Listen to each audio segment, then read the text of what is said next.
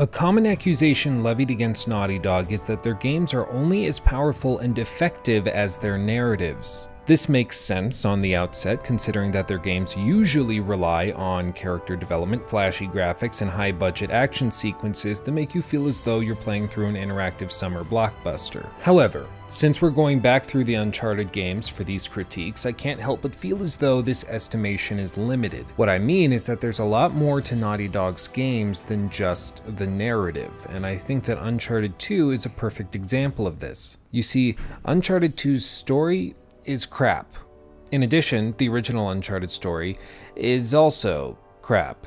These games did not claw their way into gamers' hearts and memories by way of magnificent storytelling. It was something more. You see, over the last few weeks as I prepared for this video, I went back through and played the entirety of Uncharted 1 and through all of Uncharted 2. I dug through a plethora of Reddit postings from the time of the game's releases and then also more contemporary examples, and I also consulted with many viewers, just like you on Twitter and Instagram. After doing all of this, one thing is very clear. Uncharted 2 is successful in spite of its narrative, not because of its narrative. Now, to be honest, at the start of this project wherein I am critiquing every game in the Uncharted series from Naughty Dog's primary studio, I did not think that this would be the case. Perhaps I have rose-tinted glasses, remembering these games more fondly than they deserve, or I was simply too young to comprehend all of the myriad issues present in these games.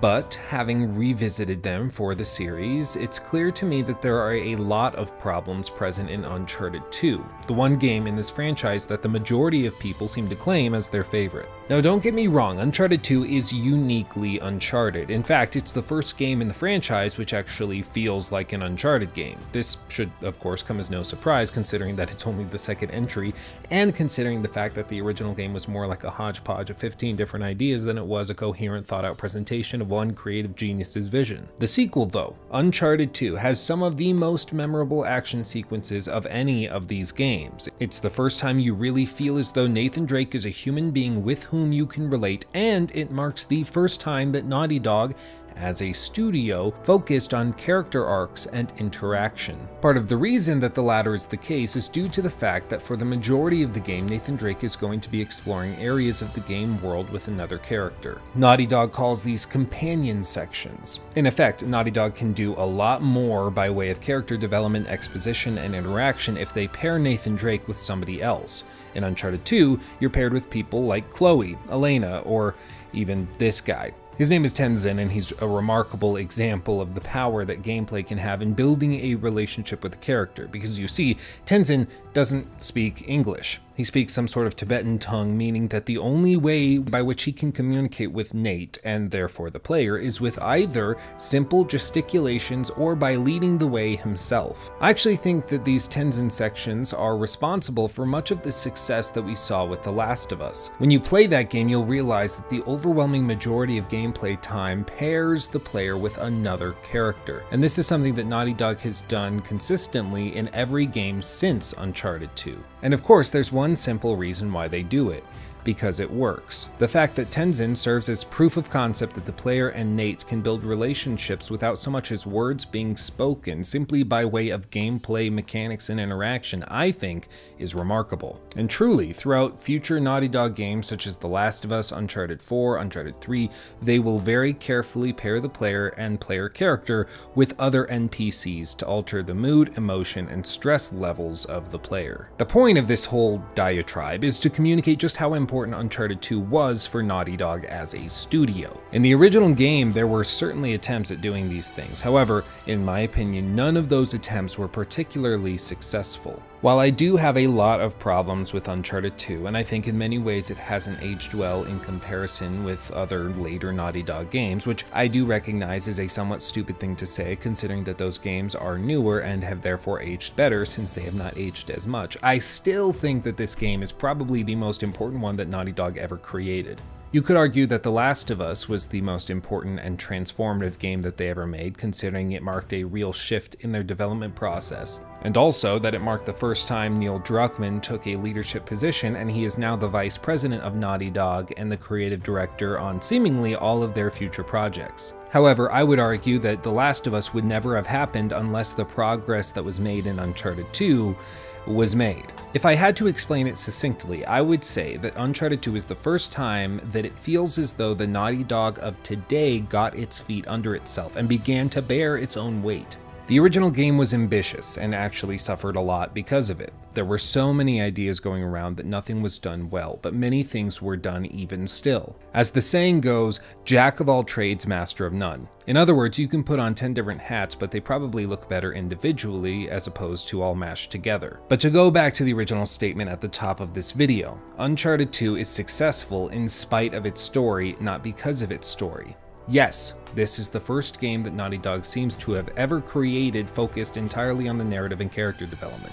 Which is why it's all the more confusing that the story is so bad. I understand that this was only their second outing trying to make a game like this, but even considering how cringy the end product resulted being, the game is still lauded today as one of, if not the best in the franchise. And in fact, most people seem to cite the story as the reason for this exceptionalism. They may love the setting, have particularly fond memories of the building collapsing in Nepal, or for the picturesque train sequence at the beginning of the game, or the relationship that's built with Chloe, or one of the most infuriating boss battles of the entire PlayStation 3 generation. Whatever it is that they connected with, people are truly connected with it. This game means a lot to a lot of people, including myself. I've had very positive memories of Uncharted 2 for years. I didn't play it anywhere near launch, but when I did play it, at first I was blown away. However, after replaying it this most recent time for this video specifically, I can't help but feel as though I overlooked many shortcomings or outright ignored them. The game is almost entrancing in that way. It pulls people in and makes them fall in love with it, but when you look at the minutia of the game, there are many,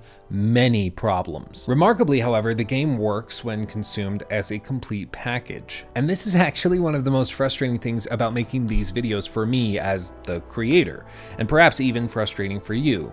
You see, playing through games as critically and skeptically as possible can be fun at first. You're nitpicking every single glitch, poorly designed level, cringy joke, everything. And when you call these things out, it can make you feel as though you're more intelligent or perhaps even that your opinion is worth more than somebody else's opinion simply because you're criticizing the thing that they love. But after playing through Uncharted 2 again, I've realized that this is simply not the case. Uncharted 2 is ripe with gameplay, narrative, and level design issues, and it's really easy to nitpick each of those problems and come to the conclusion that the game must be terrible as a result. After all, how can a game be good and have so many issues? Yet, remarkably, I think Uncharted 2 is a game that is more than the sum of its parts. In the same way that a human being is simply a collection of oxygen, carbon, hydrogen, nitrogen, calcium, and a bunch of other smaller proportioned elements, yet is still worth more than the sum of those individual elements, I think that Uncharted 2 as an experience is worth more than the sum of its levels,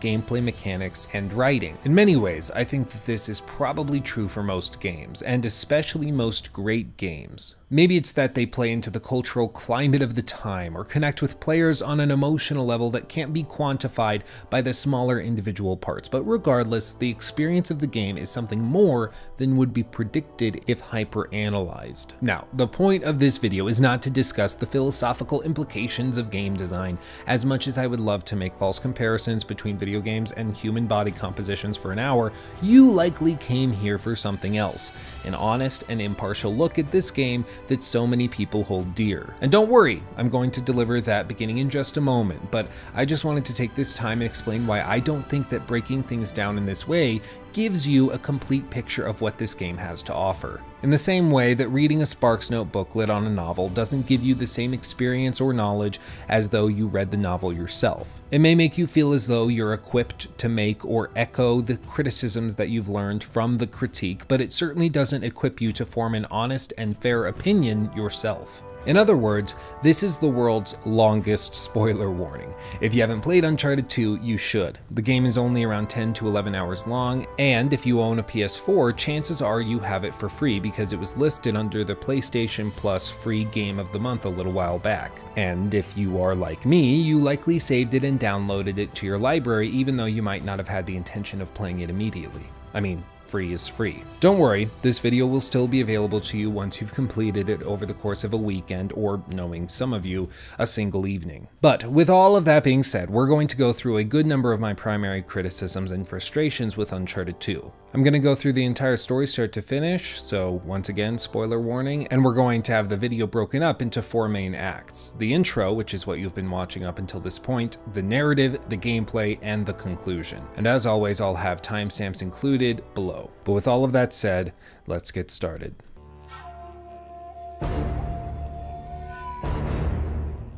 I want to begin by discussing the narrative of the game. As I said previously, this is what most people tend to cite as their reason for loving the game so much. They may point out the great action sequences or the characters that they connected with, but usually at the core they're referencing the story and the plot. So I'm going to run through a brief synopsis of the entire story from start to finish to refresh your memory if it's been a while since you played the game, or if you've never played the game at all and have no intention of doing so. Now as difficult as it's going to be, I'm going to desperately try and restrain my commentary until after I've gone through the entire game. To begin, Uncharted 2 takes place roughly two years after the events of the first game. We open up in a snowy mountainside with a train hanging off a cliff and Nathan Drake hanging out inside, clearly injured and abandoned, but the sequence only takes place for a couple minutes before we cut away into the main backstory of the game. We cut back in time to a tropical bar where Nathan Drake is approached by a former associate of his named Harry Flynn.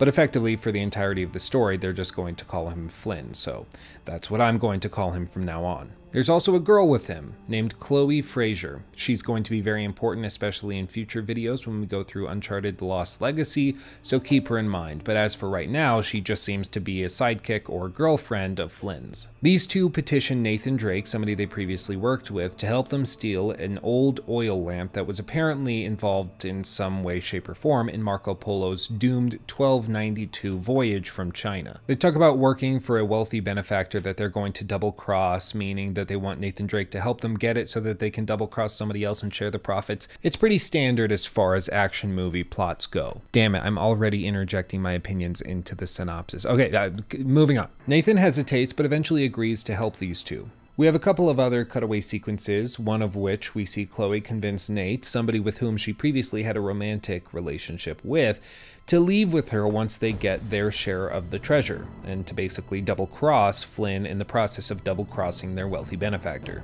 And no, this second double crossing is not the last double crossing that will take place over the course of this story. We cut forward to a museum in Istanbul where Nate and Flynn are trying to break in to find and steal the lamp. And inside is a flammable resin that illuminates a message on the map that was also contained within, showing that Marco Polo's fleet was eventually shipwrecked in the middle of the voyage someplace in Borneo. Furthermore, it's also revealed that they were likely carrying the Chintamani stone. Now, we could go into a lot of the historical and legendary ramifications and implications of the Chintamani stone, but basically all you need to know is that it's a massive sapphire from Shambhala, and apparently whoever wields it has unlimited power and can conquer the world. Again, it's pretty ordinary as far as action stories go. And, of course, because we know that this is going to grant unlimited power to whoever wields it, there's definitely going to be a bad guy that that's trying to wield this power to control the world. But rest assured, we'll run into him soon enough. After this revelation is revealed to both Nate and to the player,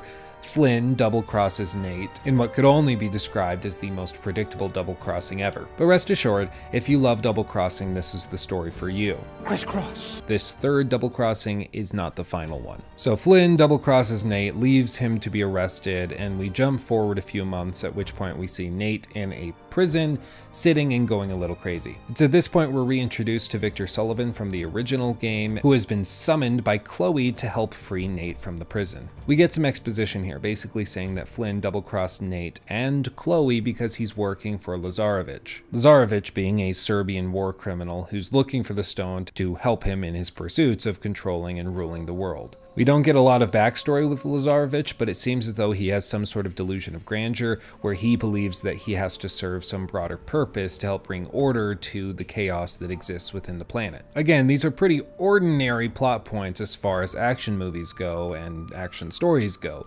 There's nothing inherently wrong with that. All I ask for in an action story with this type of villain is to give the villain the chance to argue their case to the viewer, or in this case, the player. In a movie such as Avengers Endgame, Thanos has a real argument for why he's doing what he's doing. Not saying it's a good argument, but it is an argument nonetheless. And the filmmakers made sure to give Thanos a chance to explain his case to the viewer so that they feel at least somewhat conflicted as to which side to take. In Uncharted 2, Lazarevich is hidden from the player for the majority of the story. There are a couple of minutes wherein he calls out Nathan Drake towards the end of the game, but don't worry, we'll get to that. Again, I'm really bad at not interjecting while giving a synopsis. Moving on. Nathan and Sully decide that they're going to infiltrate one of Lazarevich's camps in Borneo with Chloe as a secret agent of sorts within Lazarevich's group. After several gameplay sections, Nathan eventually discovers that the stone likely never left Shambhala in the first place. And Nate also finds a Phurba and a map with a message that its carrier will be able to gain access to Shambhala through a temple that's located in Nepal. Flynn shows up with a bunch of angry men, they get spooked off, and naturally, Nate and Sully both escape. Now at this point, the game developers felt that they needed to shake it up and to break up the monotony of Nate and Sully by pairing Nate and Chloe together. So, they find some arbitrary reason for Sully to back out of the story and to give the player the chance to pair with Chloe. The two travel to Nepal and find that Lazarevich has already been there searching for the temple. During the course of going through these levels where we're being chased by Lazarevich's mercenaries, the player runs into Nate's ex-girlfriend from the first game, Elena Fisher. She's traveling with a cameraman who's just known as Jeff. Don't worry, it's not important. You'll find out why in just a little bit. And they are apparently tracking Lazarevich for some sort of story. Like I said in the last critique, this is something that's going to happen time and time again throughout the franchise. Nathan will be all alone at the beginning of the game with no mention of Elena, no explanation as to where she went, and then suddenly she'll reappear out of nowhere with everything seemingly being the same as always. Regardless, it's the same old, same old, and it's something we're going to be seeing a lot more of, so get used to it. After reconnecting with Elena and her new cameraman, boyfriend, hubby, whatever the hell he is, he's just a dude to be honest, we eventually progress with Nate and Chloe, Elena, and the cameraman to the temple. They use the weird dagger thing as a key to uncover Shambhala's real location in the Himalayan mountains. They start working their way back out but are ambushed, and during the course of this ambush, Jeff, the cameraman, is shot. There's a quick little debate that happens between Nate, Elena, and Chloe, where they're all arguing over whether or not to abandon the cameraman to escape. Chloe insists that they abandon him because he's already shot, likely going to die regardless, and Nate and Elena probably don't stand a decent chance of surviving if they stay behind with him. Elena, of course, is outraged at this proposition, and Nate, taking the side of his previous girlfriend, decides to help the cameraman, even though it likely means that they're going to die. And I really can't stress this enough. Like, he's walking this guy, carrying him on his shoulder. I mean, look at this. Like, he should be dead. Regardless, you go through a couple sequences that are pretty clunky, and eventually Nate and Elena are caught by Lazarevich, who walks right up and kills Jeff. This seems like it was meant to be some sort of big reveal that Lazarevich is evil and a bad guy, but just judging by his look, we can tell he's the bad guy, and shooting an already dying character who we had no connection with doesn't really do much by way of convincing us that a character is evil for evil's sake. And it's too bad, because all this really would have taken was a couple scenes where Jeff, the cameraman, was given the chance to be a human being and to build a relationship with the player. But of course, this is too much to ask in these early Naughty Dog games. Also in this sequence, because Chloe is still believed to be working with Lazarevich, she does a faux double cross to start working with Lazarevich to keep her cover. This isn't made super clear to the player or to Nate. In fact, Elena seems to think that Chloe is an outright double crosser and is actually working with Lazarevich and pushed them into this situation. Even though that doesn't really make a lot of sense because Chloe even said that she was trying to save everybody by leaving Jeff the cameraman behind. It it's it's just it's lame. Can you tell I ran out of words there? It's lame. After all of this, Nate escapes from Flynn and Lazarevich with Elena. After a brief argument, Nate and Elena decide to catch up to Lazarevich's train using a stolen Jeep to try and help Chloe. This is probably the most memorable sequence of the entire game, at least for me. Climbing along and running atop the train through a vast mountain range is really really cool. I don't know how they managed to do this so well, but it seems as though it's fluid and it's effortless. Really, other than this tunnel sequence, there's never a moment where it feels as though Naughty Dog is trying to give you the runaround or is trying to stall so that the player can move up the train to keep in line with the amount of track that's left. I don't really know how they did this, but their sleight of hand is phenomenal, and they were able to make sure that the player felt as though this was all organic, and when the train eventually crashes, it crashed because it just happened to crash, and not because the story was on strict tracks. In all likelihood, the way they got this working was probably using a dynamic speed on the train to make sure that it didn't move too fast to reach the end of the track before the player was ready, and also the train was so long that the player, no matter how fast they were moving, could never reach the front of the train before the giant explosion happened thanks to the helicopter. But all that's beside the point. The point is, this is awesome. And even today, it's impressive, which just goes to show you how crazy impressive it must have been at launch. So Nate fights his way through the train trying to find Chloe, but after finding her, she refuses to leave with him because she feels as though she can't trust him anymore. Flynn shows up out of nowhere and decides to shoot Nate. Trapped and dying, Nate decides to cause an explosion that's going to derail the entire train, a very reasonable thing to do. The train flies off the cliff and he escapes just barely while hanging onto the train car. And this is where the game opened up. It's like in one of those old 1990s comedy movies where they open up the movie with some clip and they say, Oh, I bet you're wondering how I got here. And then they only reveal later how they got there. And it's it's kind of a fun cliche, but I, I, don't know. It doesn't do much for me. You climb back up the train car just like you did at the beginning of the game, but you get some new dialogue and quirky jabs, and some stuff has been slightly altered to a more realistic version, considering that they didn't have to dumb it down for the intro anymore. You get to the top of the train, you climb through the snow, and you start walking through the sequence, at which point Nate passes out due to all of the blood loss. Nate's found by a Tibetan Sherpa named Tenzin, the guy we talked about earlier, who brings Nate back to the village where he's based out of to help him recover. Here, Nate's reunited with Elena, and we are introduced to an explorer named Carl Schaefer, who's apparently some sort of German German explorer that's been living here for a while. Schaefer's probably the weirdest character in this entire story because he doesn't have really anything particularly likable about him. He just kind of shows up, offers some explanation, says that Lazarevich must be stopped at all costs, and then uses Tenzin to send Nate off on a fetch quest effectively to find out why Lazarevich actually must be stopped at all costs. You see, Schaefer sent an expedition of people to try and find the stone, apparently decades ago, even though the condition of the bodies is not quite decades old. It's weird. Regardless, doesn't really matter. You travel through some ice caves doing a lot of platforming and fighting off these really strange monsters that are heavily implied to be Yetis. Don't worry, these things will really piss you off in just a little bit. They're jumping up walls, they have superpowers, they can apparently withstand any number of bullets.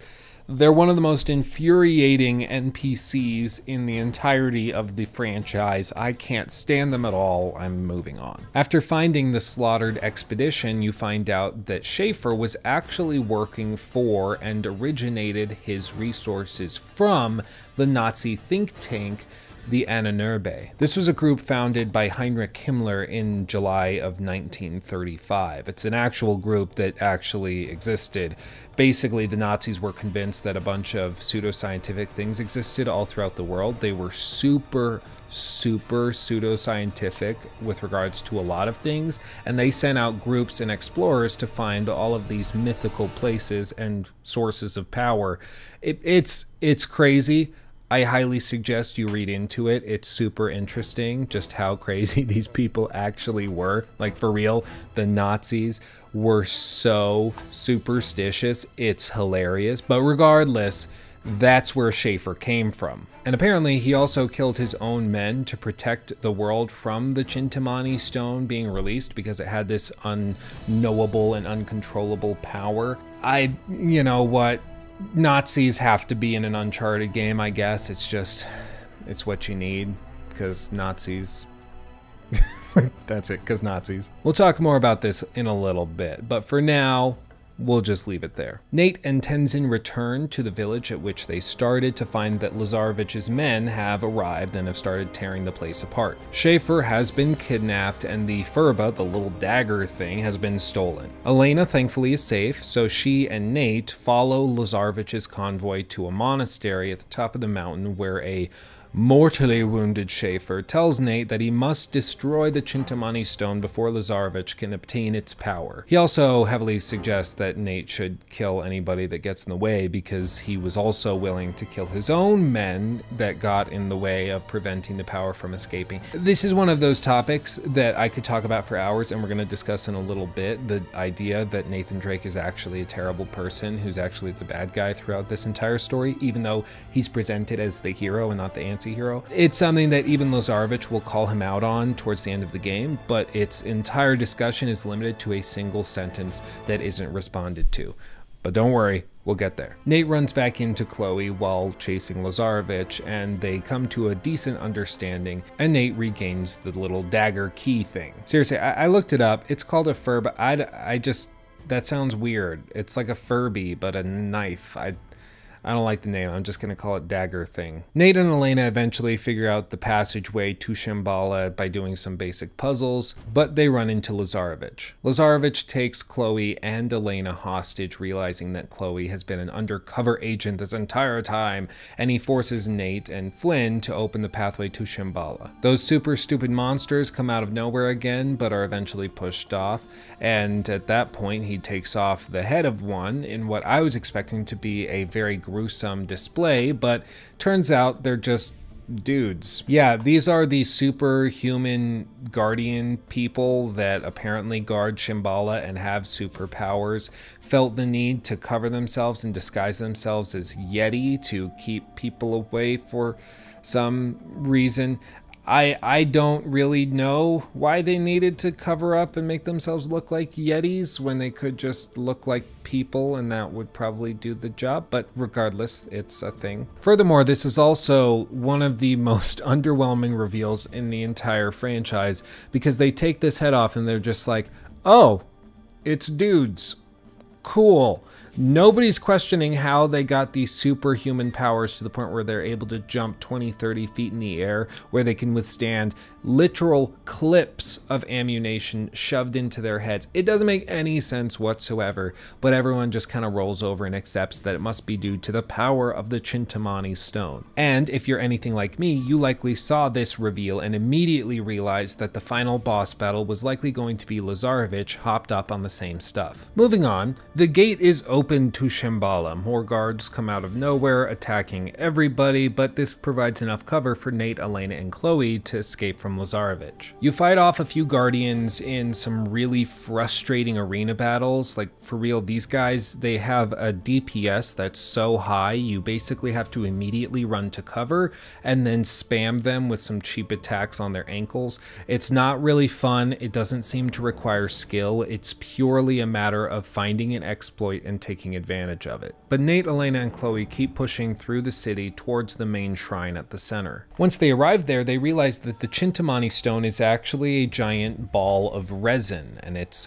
taken from the sap of this ancient tree of life that's at the center of the city. And apparently, at the base of the tree, within the root system, there's a liquefied version of the sap that if you drink it makes you effectively invincible. Or maybe I should say, almost effectively invincible because it clearly doesn't make everybody invincible considering all of the guardians that you kill in the sequence leading up to this. Right after this reveal, Flynn shows up out of nowhere having been beaten and left for dead by Lazarevich because he screwed everything up and let Nate get away. Flynn has a grenade that he has unpinned and drops once he shows up, trying to commit some sort of suicide bombing on the group for reasons, I guess. Everybody seems perfectly fine despite all of the shrapnel flying everywhere, except for Elena, who seems to have absorbed most of the blow. Even still, she seems to just look like she fell down a flight of stairs. She doesn't really seem to have absorbed a lot of shrapnel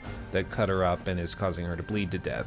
But regardless, we'll look past it. Now, I immediately thought, okay, Elena's dying. Surely we're to get her to the base of the tree, give her some of the sap, and she'll be fine. But I guess Naughty Dog's writers didn't want to be that predictable in this individual instance of the game. So instead, Nate decides that he's going to push on to stop Lazarevich from getting to the sap, not because he needs it to heal Elena, but rather because he simply wants to defeat Lazarevich. It's a weird conflict of motivations because it seems as though Nate would be much more justified in going down to the base of the tree to get the sap to heal Elena, saying screw it to Lazarevich because Elena's more important to him than anything else.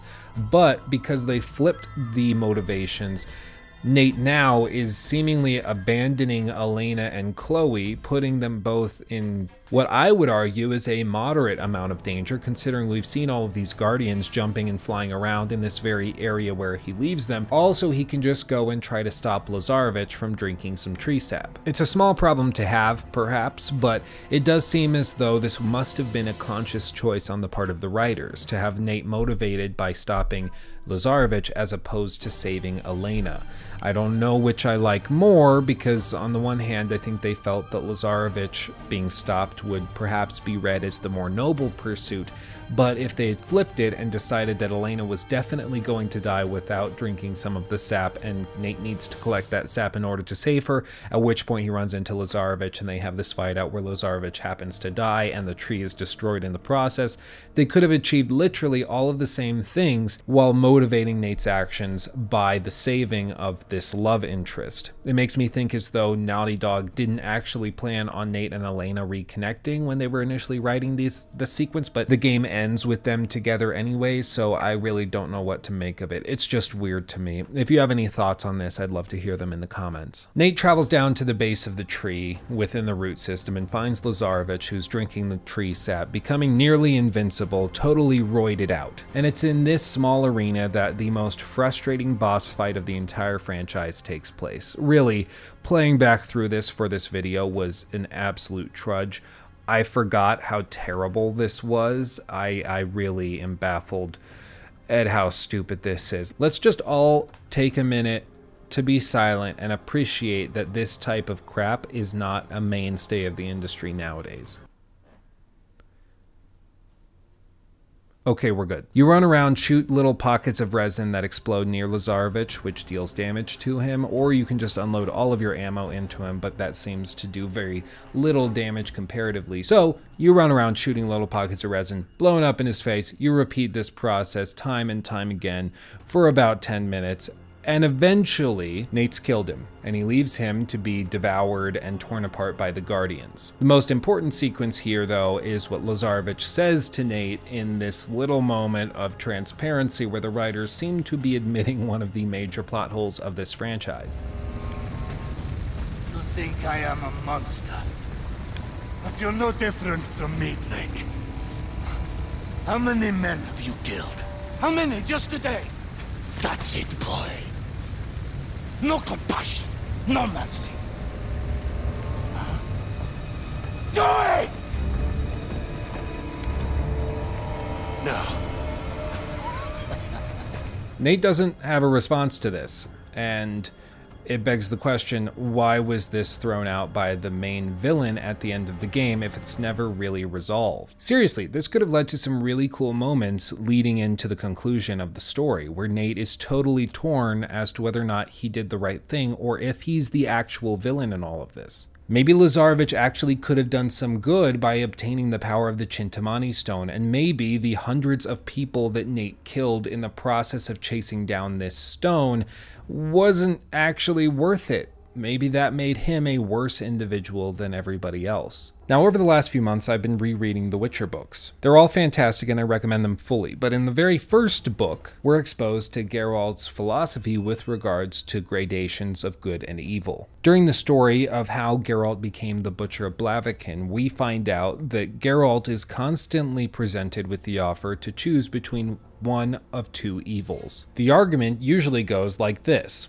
Here's an option, here's another option. One is less terrible than the other, therefore, it's only moral to choose the less terrible option. One of the things you need to know about Geralt as a character is that he rejects this premise. He says that choosing between the lesser of two evils is a false dichotomy. It's a choice that you don't have to make. And this is actually a common thread throughout all of the Witcher books. This struggle that Geralt has trying to decide whether or not he should choose between the lesser of two evils, even though he is fundamentally and emphatically opposed to the premises of that argument.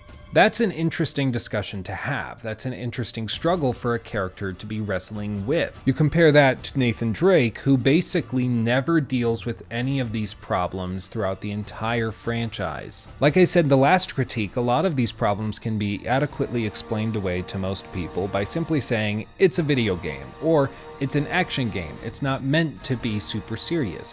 You're not meant to question a lot of these things. But that to me seems like a really lazy excuse, because if you're asking asking the player to connect with these characters, you need to at least have a somewhat decent explanation as to why they're committing these crimes. But you know what, I've discussed this time and time again. I don't think it's something that Naughty Dog will ever resolve in the Uncharted series simply because I don't think it's important to them. I would love to see them tackle it, but I just don't think it's going to happen. And having played through all of the games developed by the primary studio at Naughty Dog, it doesn't seem like something they ever really addressed. The Last of Us Part 2 shows that they're capable of handling this discussion because they're showing very actively because the overarching premise of that game is that evil begets evil and the actions of one character are not contained within a vacuum. They must be considered as individual moral actions. But as far as Uncharted is concerned, for the most part, what happens in cutscenes is canon and should be considered within the character evaluation of an individual, not the gameplay sequences, which occur in a sort of alternate realm.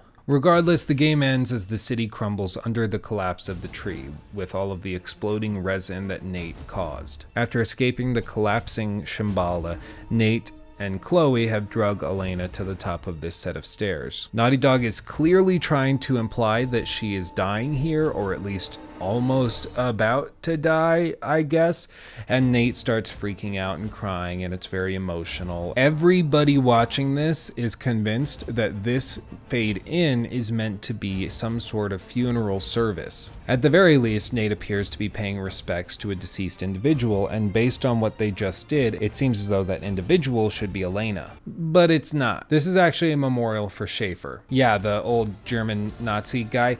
That's that's his memorial and it's it's not Elena. Elena's fine, and uh, they talk, share some cute couple tidbits, and then they kind of kiss and hang out and then the game's over. That's it. And this is what I mean by Naughty Dog always chickening out with this franchise. In the first game, it seemed as though they were killing off Sully. They chickened out, brought him back to life after being shot in the chest with a small booklet that somehow stopped a bullet. This time around, Elena survived a grenade launch to the face simply because they wanted to have a cute couple scene at the end of the game. Nate literally abandoned Elena and Chloe to go back down to the base of the tree tree to try and stop the acquisition of unlimited power by an evil character. Sometimes doing the right thing has a cost. If Naughty Dog had committed to that principle and killed off Elena here, that could have proven the point. Nate saved the world, or at least he thinks he did, but he lost his true love in the process. And this is a question that Naughty Dog is very capable of asking the player because they do so in The Last of Us. That's literally the whole point of the end of the game. I understand it's not really the tone that they're going for in Uncharted, but still, it leaves me frustrated that they couldn't have some more serious subject matter within the game. And and that's it. That is the actual end of the game. It's pretty underwhelming if you ask me. I mean, there's a lot of things that we could discuss with regards to this. We could talk about the Nazi tie-in, their kind of dependency on bringing those characters in wherever they can, which is one thing that you kind of just do which I think is actually forgivable for the most part, even if it does start to get a little tired. The one thing I can't forgive though is Naughty Dog's lack of commitment to any sort of serious consequence as a result of Nate's actions. There are multiple points in Uncharted 2 where Chloe and or Elena are held at gunpoint and are almost killed because of something Nate did directly. However, instead of the universe actually punishing Nate, they decide to give him a free pass so that he effectively never has to learn his lesson. They sort of address this in Uncharted 4, where they sort of kill off Nate's brother in a cutscene that took place in the past, but as we all know who have played through that game, the brother reappears and is absolutely fine, so that doesn't count. And this is probably my single biggest problem with the franchise that happens time and time again. Nate is horrifically irresponsible. He does a lot of very stupid things, and there are many times, especially in these early games, where he's doing things seemingly just for the laugh that endanger everyone around him. He's arrogant, he's cocky, he's full of himself, and he pushes those around him into dangerous situations. Even if his motivations are sound, such as at the end of Uncharted 2 when he pushes in to stop Lazarevich, it still means that he's endangering those around him. And if he's actually doing that, there should be some sort of consequence. Show the player and Nate that there's a cost to moral action. But regardless, the story serves a broad purpose to bring the player along for an action packed ride. We can nitpick all of these small little details, such as the strange use of Yeti costumes for these superhero level guardians to scare off strangers from Shambhala even though that doesn't seem to be necessary. I mean, I think you could just have regular looking people that have superpowers doing the job and people would be terrified. Like, I don't, I, I'm, I, I'm sorry, I still don't know why this was necessary. Or the fact that you are in a vast mountainscape, you go through these stairs, and then all of a sudden you come out to Shambhala, which seems to just be within a mountain valley and has the sky completely open to it. Like, for real? Did they not have helicopters to just fly over the mountain? I mean, they had helicopters like 10 minutes before this happened, so surely they were able to fly and find Shambhala this way. Why did they have to go underground? Is this whole thing underground eh, with a fake sky? If so, how did that happen? Like, there's so many questions that we could bring up. It's just not important. And I don't think it's important because I don't think there's any good answer to it. The broader point of this section of the video is just that the narrative isn't very good. The character development isn't very good, though it is better than the previous game, and the individual minutiae of characters interacting with each other is interesting, but the broader implications of those interactions are cut off before anything interesting develops. So what else does the game have to offer? Well, it's gameplay.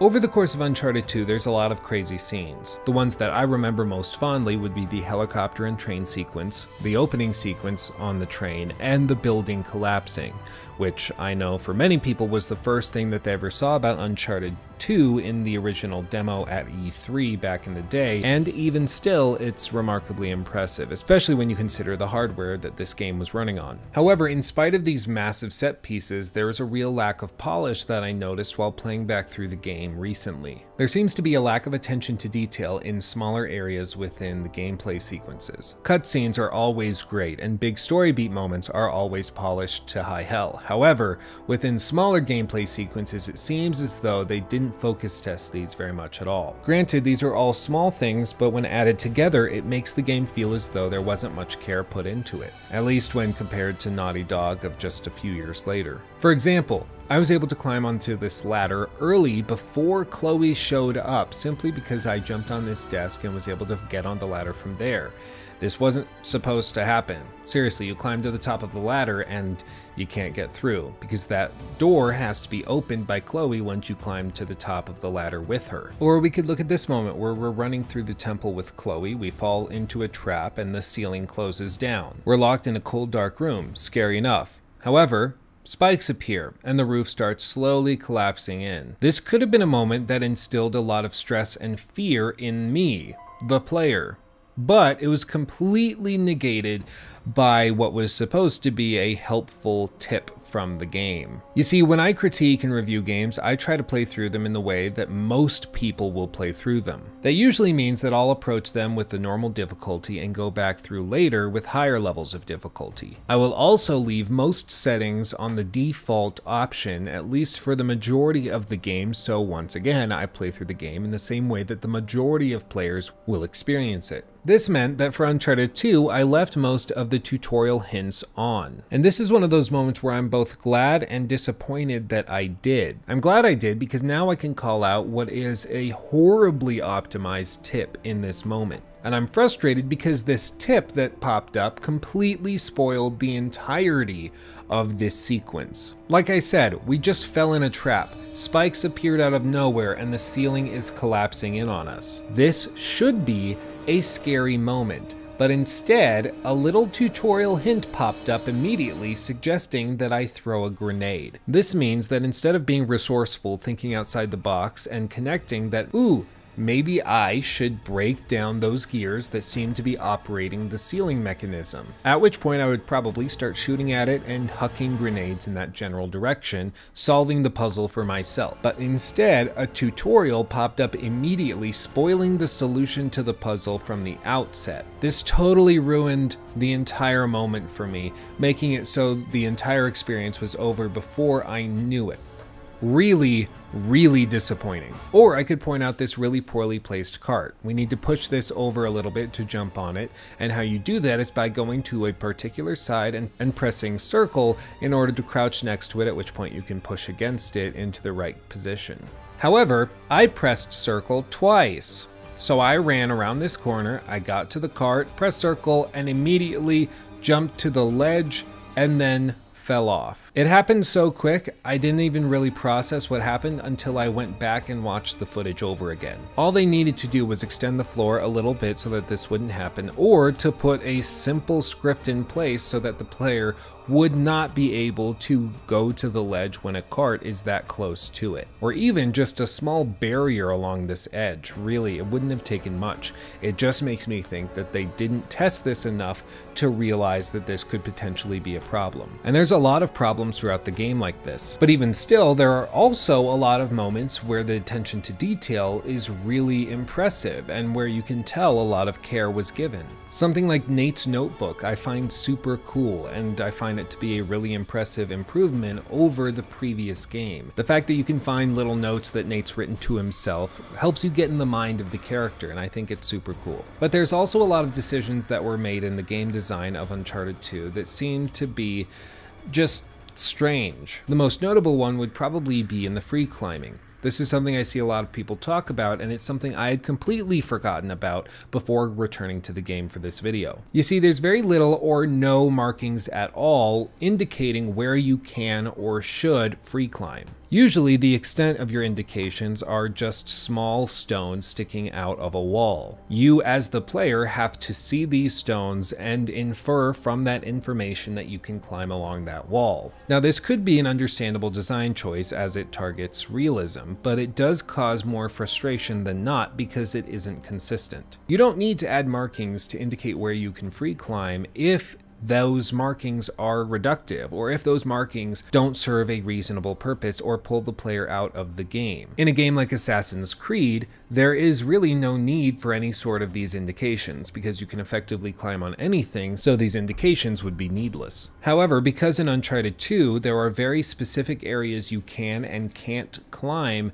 this just leads to more frustration. Compare it to something like Uncharted 4 where there are markings. These markings are discreet enough that you do have to look for them, but they make it so if the player processes that they need to climb in a given level, they know what to look for. Because you can't climb everything in Uncharted 4, you start just looking for these markings which indicate what you are allowed to climb. And because they're minimalistic, I feel as though these markings aren't intrusive or unimmersive. Not to mention, I think it's pretty clear that the return of these markings in Uncharted 4 and Lost Legacy really shows that Naughty Dog listened to the criticism and decided that the lack of markings, while an interesting design choice, targeting realism really wasn't worth the immersion that they were trying to achieve as a result. There were multiple times where I was confused as to where I was supposed to go because I didn't connect that I was supposed to jump onto this thing that wasn't marked. Most things in Uncharted, even the majority of things in Uncharted that aren't marked, you cannot interact with. So the assumption follows through all gameplay systems, where if something is not specialty marked, it isn't interactive. The fact that these street signs are climbable is something you aren't going to know unless you try jumping for them. After you do this the first time, you'll eventually learn that these street signs can be climbed, but that's something you have to experiment with first. This means that there were also multiple times where I tried jumping at things to climb them which weren't interactive, because they also were not marked, so I assumed that maybe I just needed to try it in order to learn that you could climb them. I mean, just in explaining this, I find myself getting a headache because it seems so needlessly complicated, and I think that that's the main point. It's good they were trying to target realism and remove these unnecessary markings. The problem is, that they're necessary. Lastly, within the gameplay systems, there's a real lack of dynamism. Naughty Dog games have always been linear. You're always expected to continue on set paths and do what the developers intended you to do. That's not a bad thing. In fact, you can have a lot of amazing sequences that are carefully designed by the developers that are set up this way. However, there needs to be a sleight of hand. You need to convince the player that they have the free will to do what they want to do, even though they're actually living their life in accordance with your dictum. For example, in Uncharted 4, there's the famous car sequence, which was shown off at E3. Here you're running away from an armored car. You're driving through the city and taking all sorts of detours to try and avoid that car that's chasing you. The player really does feel as though they have the free will to turn in any direction, go through any alleyway they want, but because they're so rushed and pushed by the impending danger of the armored car, they find themselves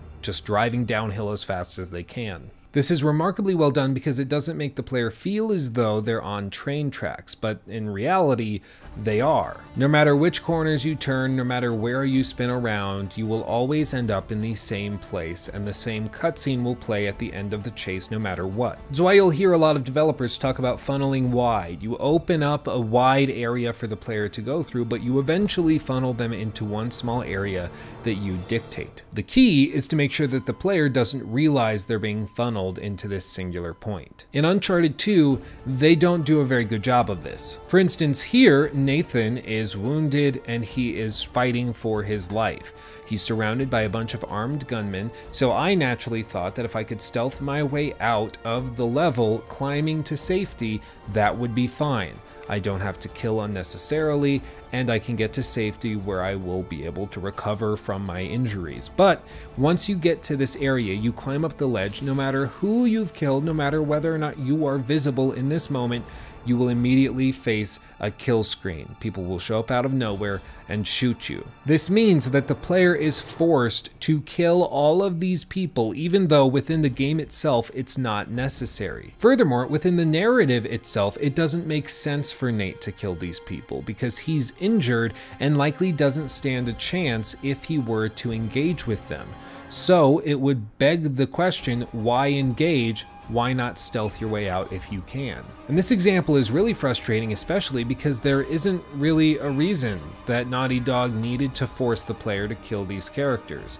There's a couple waves that come in, but eventually you still climb up this same ledge. The same cutscene plays whether or not you killed 10 people behind you or 200 people behind you. Furthermore, I wish there were more realistic puzzles. I understand that this is an artifact of these kind of action adventure games where you just have to do these kind of outrageous puzzles where you're climbing on limbs of statues to alter their arrangement and then you're also climbing along these giant levers to pull them into place and then moving these small little statues onto set pillars to make sure that everything is lined up it, like i get it I, I get it. You have to have puzzles in these games. I just wish that they put a little more effort into making those puzzles more realistic. So if there were people, ancient people, that wanted to hide a treasure, it would be more in line with what you would expect from them in hiding their treasure. But I do admit that this is likely just a pet peeve of mine, especially considering how many of these games I've played in the last few months. And lastly, the gunplay. There really isn't a major improvement over the previous game here. The shooting is still arena based, there's a wider variety of weapons, but for the most part you're just running through levels, unloading clips into enemies, finding a new gun, unloading that clip into somebody, finding a new gun, and repeating the process over and over and over again. In Uncharted 3 and 4, we'll start to see some more stealth sequences becoming normative within these games, but it's just unfortunate that in Uncharted 2, they felt as though they needed to keep to this purely action genre where you have to shoot and kill everything. The one improvement I can admit they did make over the original game is they added a lot more verticality to these levels. Most of the shooting arenas have two or three levels to them that you have to all consider and run around. Later in the game there's even free running that's implemented into the levels in which you're fighting. It's actually pretty cool. But all told, the gameplay itself isn't particularly remarkable at the end of the day.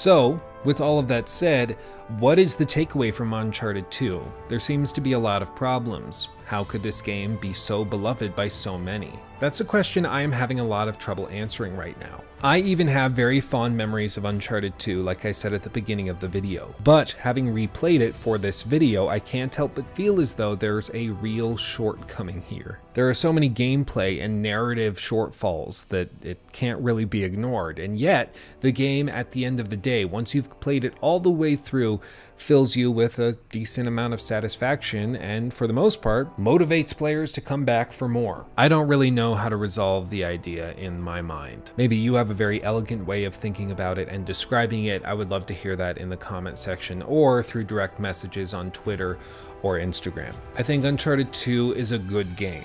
Not great, but not bad. But after playing through it again, I think I can say confidently that it's not actually my favorite of the franchise. If it is your favorite of the franchise, I would actually really be interested in hearing when you played the game last, or if you played it through recently, and what you would say in response to these criticisms I've levied. The only conclusion I can draw is the one I brought up at the beginning that Uncharted 2 is more than the sum of its parts. A game like Uncharted is about the journey and the experience. It's not really about the individual destinations that you arrive at during the course of that journey. While that may seem like a cop out, and it may very well be just that, I'm glad that I played Uncharted 2 once again and I'm excited to play through the third game for the next critique. As always, if you want videos like this to come out more frequently, or if you'd like to see them early, head over to Patreon right now, throw even a dollar my way, and you can be featured in the video such as these individuals right here. And depending upon the tier at which you join, you can even get a vocal shout out such as Zachary Johnson, Mike Holland, and Einar G. I really do appreciate the support of all of you patrons. Really, you guys are all stars. Furthermore, if you support me over on Patreon, you get a direct vote in what the next critique is, which it looks like based on the recent votes, we might even be going to The Last of Us Part 2, expediting that critique before we get to Uncharted 3. Should be pretty fun. I can't wait. But that's all for me. Thank you for watching. I love you all, and I'll see you in the next video.